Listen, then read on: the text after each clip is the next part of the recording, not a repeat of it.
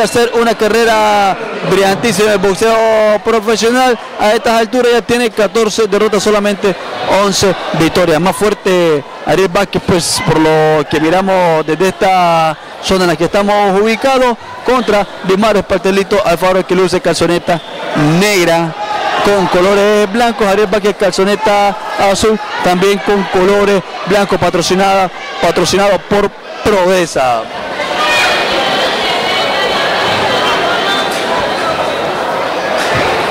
Primero, segundo del combate.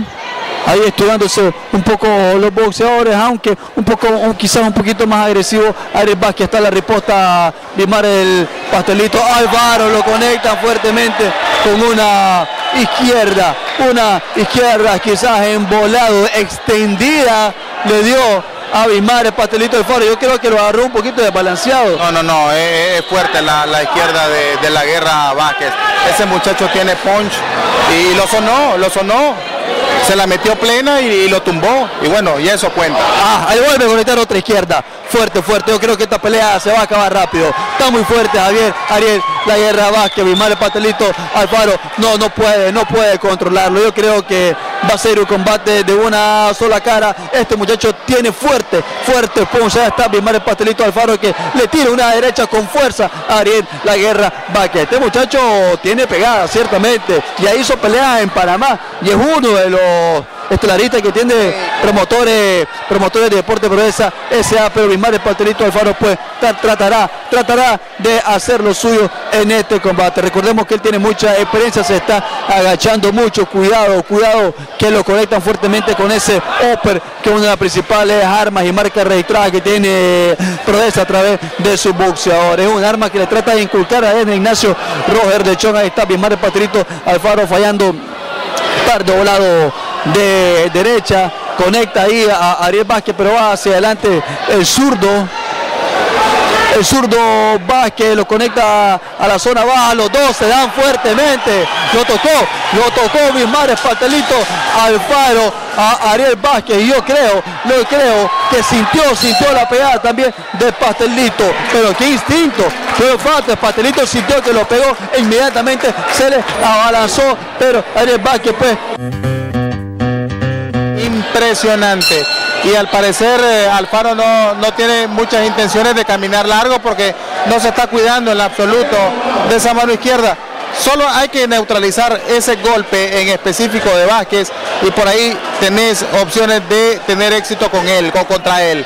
Ahí está Alfaro, va hacia adelante, muy franco, descuidando la guardia. Y si le vuelve a meter la mano izquierda plena, Vázquez ahí abismar el pastelito Alfaro. Creo que Alfaro se puede complicar. Incluso hasta ahí podría llegar buena derecha del pastelito a la humanidad de Vázquez. Y este es uno de los defectos de Vázquez, que suele confiarse mucho y la va a pasar mal porque Alfaro es un boxeador de experiencia, tiene oficio y que no se confíe tampoco Vázquez porque Pastelito también tiene lo suyo y está peleando como, como boxeador de casa aquí en el gimnasio de Alexis Argüello. Lo quieren mucho.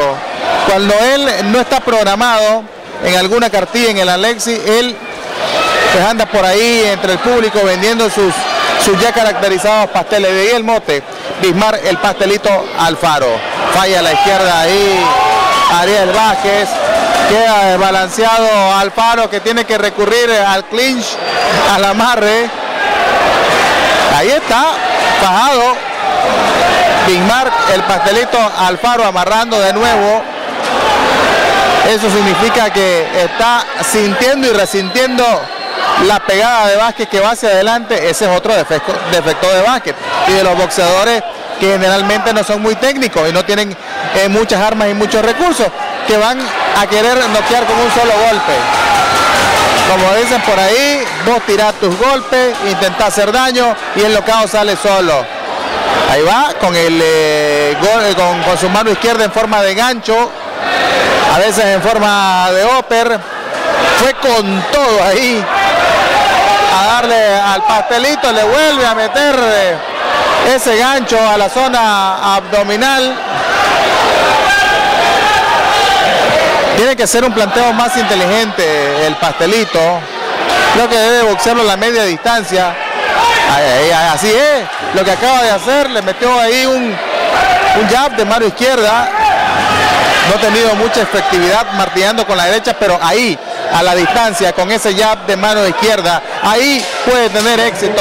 Ahí está una de las claves para Bismarck, el pastelito Alfaro. Un round inicial, eh, un segundo round eh, bastante entretenido, una pelea muy entretenida, Marlon. Boxeador con mucho poder en su en sus puños más en su mano izquierda de el pastelito Alfaro está sintiendo esos golpes lo que es en la zona abdominal y yo creo que por ahí por ahí puede eh, dirigir sus ataques Ariel La Guerra Vázquez, boxeador de promotores de deporte proeza esa están viendo lo que es el accionar de Bimar el pastelito Alfaro que no tiene no tiene un punch que digamos podría poner en malas condiciones, pero esto es boxeo, uno no sabe pues de dónde, de dónde a veces uno saca fortaleza cuando se trata de boxeadores que no tienen mucho eh, combate ganado por la vía del boxeo, como en este caso Bismar Patelito Alfaro, que son 11 victorias, solamente 5 han sido por la vía del knockout. Sí, el punch lo tiene, Arepa que tiene 7 de sus victorias han sido por nocaut del total de 11 que llevan el boxeo profesional. 4 derrotas, un empate para Ariel Vázquez, uno de los boxeadores de la escuadra de promotores de deporte proeza Ahí están ustedes viendo el combate. Yo creo que Ismael Patelito Alfaro ya está mermado lo que es en el boxeo profesional. Ha sido golpeado fuertemente, le han puesto lo mejorcito a nivel nacional y también se ha enfrentado a prospectos en Francia, en Italia, en países de Europa. Y en estos momentos pues está brindando combate a que quizás con un combate con un boxeo más inteligente, más ordenado, sin desesperarse, ahí está conectando una fuerte derecha a Ariel Vázquez que va hacia delante y el árbitro tiene que llamarles la atención porque tal vez no se ha percatado, están usando mucho la cabeza, mucho la cabeza para hacerse daño. Hay un cabezazo, yo honestamente lo que estábamos comentando, yo miré que el Vázquez, tal vez no de manera eh, intencionada, pero le dio un fuerte cabezazo a, a Alfaro.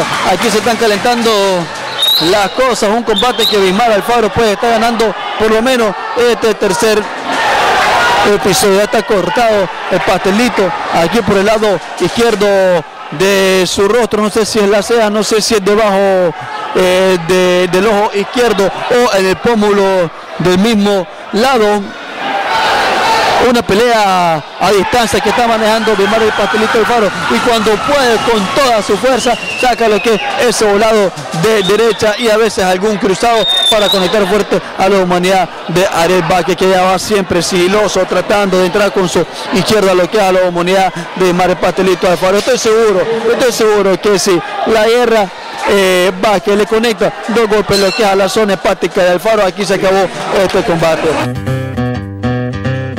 asalto de este combate pactado a 6 en 126 eh, libras. Hay un corte en el eh, pómulo izquierdo de Bismar el pastelito Alfaro. Ahí tiene que concentrarse Ariel La Guerra Vázquez en martillar al pastelito Alfaro. Y el faro desde luego, si se abre esa herida, si no se la controlan, va a tener problemas con su visión su visibilidad estará mermada y eso será un punto a favor para Vázquez. Pero haciendo una buena pelea, Bismar el pastelito Alfaro, parecía que no iba a caminar mucho, pero ahí está fajado ante Vázquez que quiere noquear con un solo golpe. Izquierda que falló ahí Vázquez. Se viene con el 1-2, Bismar el pastelito Alfaro. Este es el boxeo de Prodesa desde el gimnasio Alexis Argüello en Managua, la capital de Nicaragua. Alberto Méndez es el tercer hombre sobre el ring.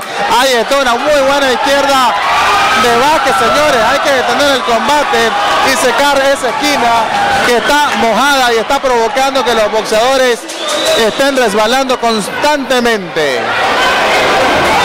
Se queja ahí de algo Alberto Vázquez. Un tanto torpe también el pastelito a la hora de de ir y conectar eh, el 1 y 2, no lo hace con mucha claridad. Y bueno, para eso es la técnica, la técnica es para que conectes eh, con, más efectividad eh, tus golpes. Ha gustado este combate el gimnasio Alexis Argüello, ahí está el patel. Insisto, un error para Vázquez, querer noquear de un solo golpe. Está combinando un poco más. Al menos está lanzando más su mano derecha. Ariel Vázquez de calzoneta azul. Bien plantado en el centro del cuadrilátero el pastelito. Suelta ahí su mano izquierda en forma de jab. Martilla con la derecha. Traban ahí Ariel Vázquez. El público se emociona. Buena derecha del pastelito al paro. Yo no sé de qué se queja Vázquez una derecha limpia, plena, al rostro de que se la vuelve a meter, se la repite ahí, el pastelito que le metió en la mano izquierda, te lo dije, Marlon Calero. Ese era el planteamiento del pastel a la media distancia, utilizando su jab del 1 buena izquierda ahí, en forma de recta de Bismar el pastelito al paro. Ahí no, bueno, no, no vi ningún golpe claro yo ahí. Un cabezazo, un cabezazo, y le van a llamar la atención ese fue un cabezazo, yo no vi ningún golpe ahí. Cuando mejor estaba peleando Bismar el pastelito Alfaro, llegó otro cabezazo de Ariel Vázquez y ahora sí está sangrando fuertemente. Ese cabezazo es en la frente. Ya tenía una cortadura en el pómulo, producto de un cabezazo, de un choque de cabezas. Ahora hay otro encontronazo y hay un corte al parecer en, las, en la frente de Bismar el pastelito Alfaro.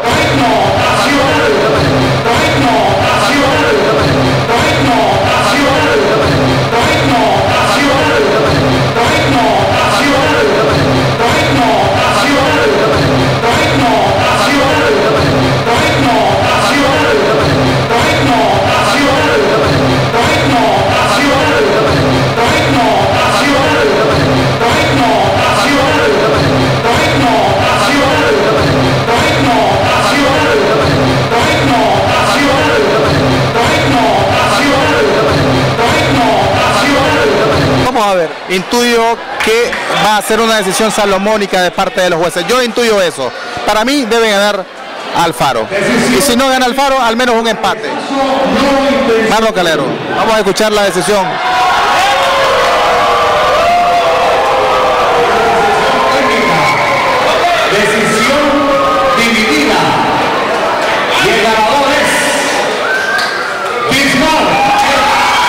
Bueno, no andábamos mal vos viste ganar a Vázquez, yo lo vi ganar a, a, los jueces vieron, algunos vieron ganar a Vázquez, otros vieron ganar a Alfaro.